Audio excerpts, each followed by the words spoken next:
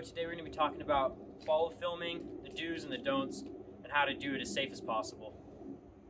Obviously, if you have a car following behind someone down a hill, it's going to be dangerous. You need to make sure that you take every safety precaution that you can. So, I have my camera set here on the car. You want to use as wide a focal length as you can. I have a 10 millimeter lens so that you have as much of the scenery in frame. It also makes it look faster. You want to get camera as low as it can because then you get more of the motion blur on the sides. And you also want to make sure you stabilize your camera. Some cameras have in-body stabilization and some lenses do also. You want to make sure that either you have lens stabilization or body stabilization, but you don't want to have both on because it'll interfere and then you get jitters. So my body doesn't have image stabilization and only the lens does.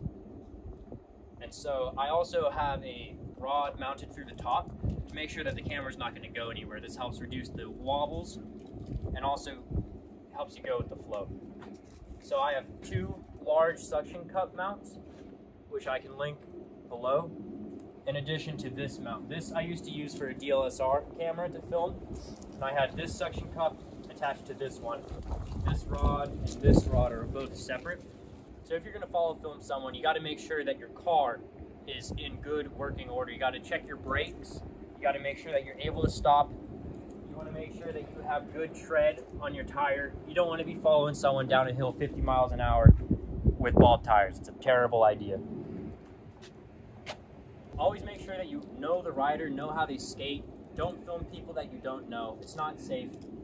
And if you can, just use a GoPro on your head. It looks cooler. This is very dangerous. It's not really worth it unless you're making formatted media for different companies or something like that.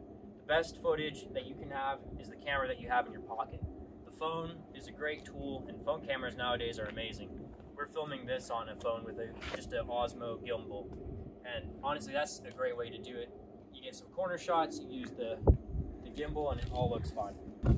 So if you're driving the car, you want to, if you have a sport mode, you want to put that in the sport mode or put it in the lowest gear you can because you want the transmission to be taking some of the motion of the car.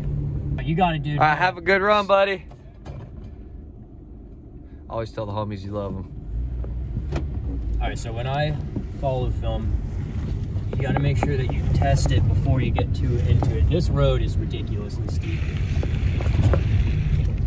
All this bottle water are the best. And if you can, you want to have someone in the car with you that can watch down the road and alert you of cars. We have two spotters and the road is closed right now. Don't film open roads if you can help it.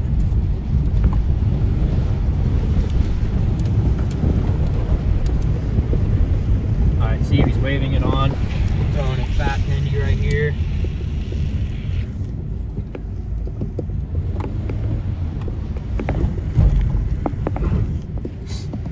Do not want to lock up on the brakes. I'm tapping my foot. You do not want the car to be sliding. You want it to be, you want to tap the brakes.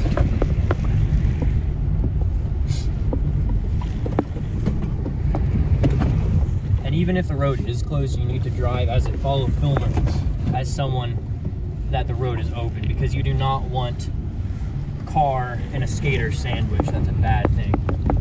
Because someone might be pulling out of their driveway to go up, you don't know what's going to happen. And when you're driving a ton of metal down the road or two tons, you do not want to be hitting skaters. See, I was ready. I was able to stop, slam on the brakes, not slam. I feathered them so that it didn't hit the board. And he's okay. We're okay. It's all good. We're going to finish her out strong. You got to always be ready.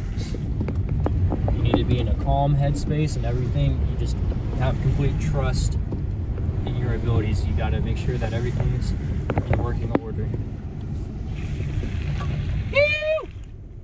And cheer the homies on.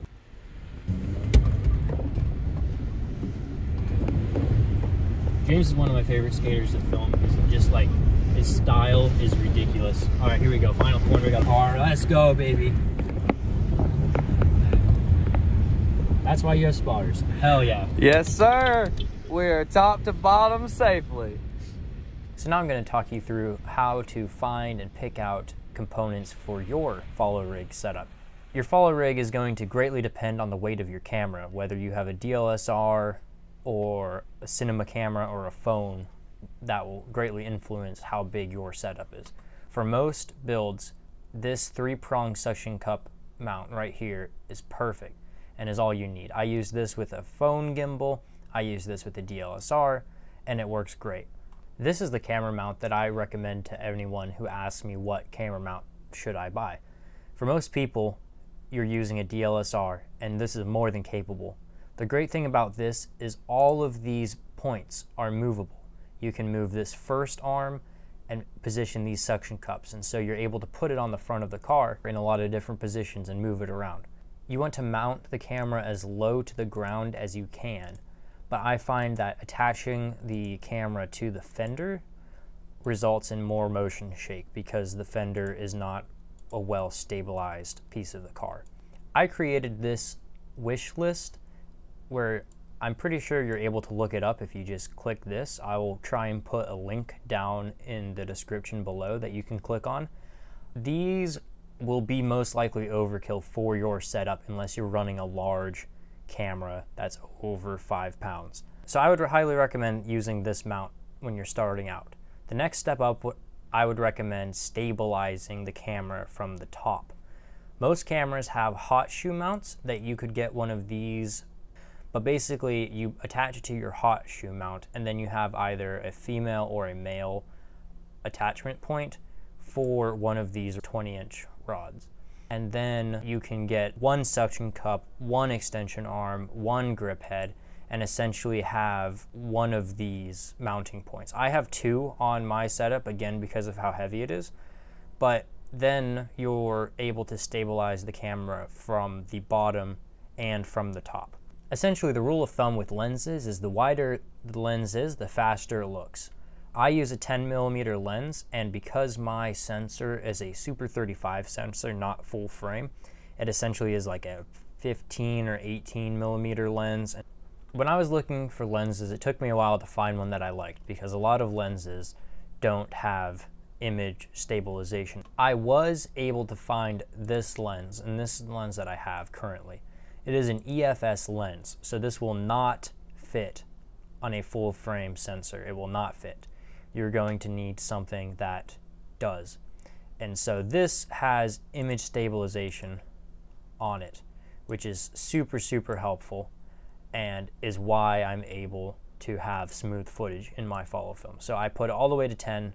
It's not the greatest lens in the world, but it gets the job done.